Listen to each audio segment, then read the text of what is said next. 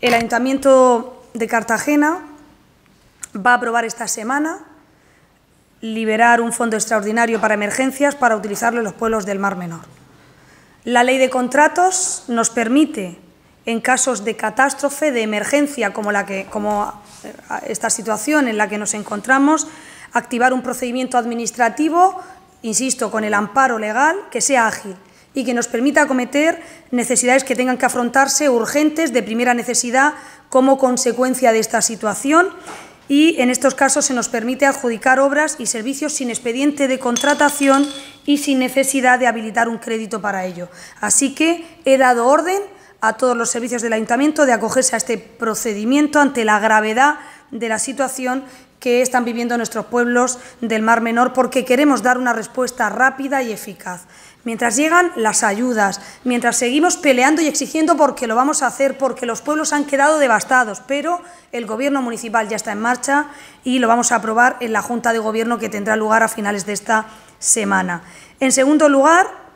el Ayuntamiento de Cartagena va a pedir la declaración de zona catastrófica que incluya no solo a nuestros pueblos de Cartagena, que también, sino al propio Mar Menor,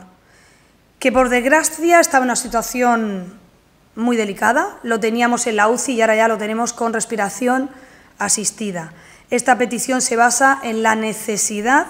de que se afronte de una manera integral, urgente, rápida, excepcional, no sé qué adjetivos más utilizar para que se ponga una solución con actuaciones concretas y mucho presupuesto, porque lo vamos a necesitar para sacar de esta a la laguna salada. También quiero anunciarles que esta mañana he estado en la Asamblea Regional,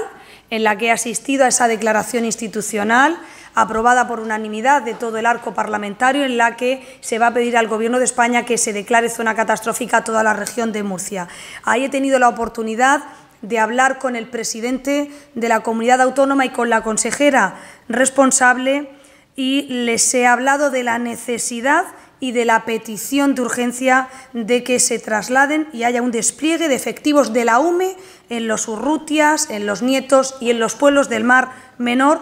insisto, con especial incidencia también en los Nietos. Me lo ha confirmado la consejera, el presidente de la comunidad autónoma en sede parlamentaria me lo ha confirmado y decir que he estado al teléfono con todo el Gobierno regional, directores generales, consejeros y hemos demostrado que las administraciones somos capaces de sacar adelante un trabajo que requiere mucho esfuerzo, mucha sensibilidad y rapidez y ser operativos y hasta el día de hoy puedo decir que lo estamos siendo. Es cierto también que el presidente de la Comunidad Autónoma de la región de Murcia, el señor López Miras, se ha ofrecido a lo largo de estos días de situación,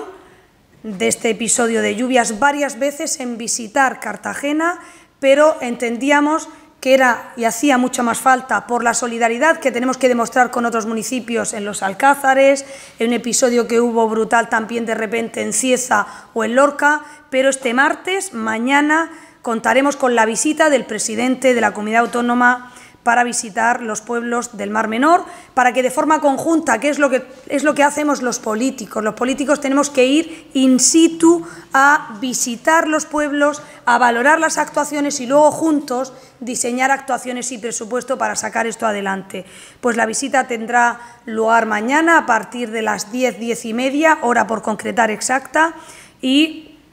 vamos a evaluar esos daños de forma conjunta. También eh, en esta situación en la que tocaba gestionar una de nuestras fiestas más internacionales, pero también que el Gobierno siguiera trabajando de forma imparable esta gestión de esta crisis, he encargado a la Concejalía de Descentralización y de Servicios Sociales la coordinación de la gestión de actuaciones y ayudas en estos pueblos afectados por la DANA. Y por último, también comunicarles que eh, en los próximos días voy a convocar una reunión con los representantes del sector primario. También han sido un sector muy dañado. Quiero evaluar los daños con ellos porque han sufrido también mucho con estas lluvias torrenciales y queremos ver en qué forma y de qué manera podemos ayudarles. Es verdad que hemos estado en permanente contacto, concretamente con el presidente de COAC, también con